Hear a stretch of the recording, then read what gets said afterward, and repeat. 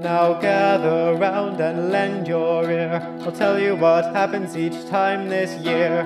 Right around midnight, the ghosts and banshees get together for a jamboree. There's things with horns and saucer eyes, some with fangs about this size, some short and fat, some tall and thin. Some don't even wear their skin. I'm warning you, traveler, it's a terrible sight just to see what goes on in the night.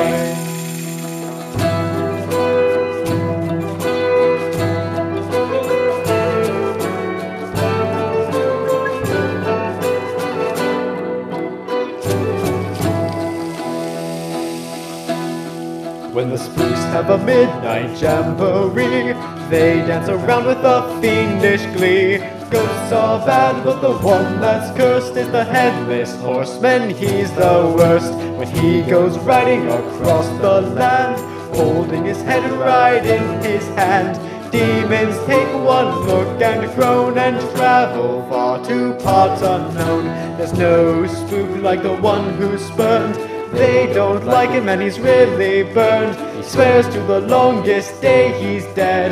He'll show them he can get ahead. They say he longs for flesh and bone, wanting a head to call his own. So he rides this time each year to find a head in the forest here.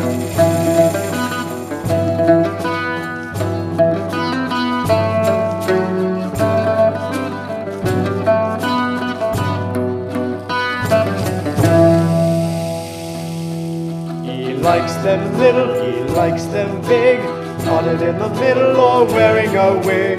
Black or white or dripping red, the headless horseman needs a head. So shut all the windows, lock all the doors, unless you're careful, he'll get yours.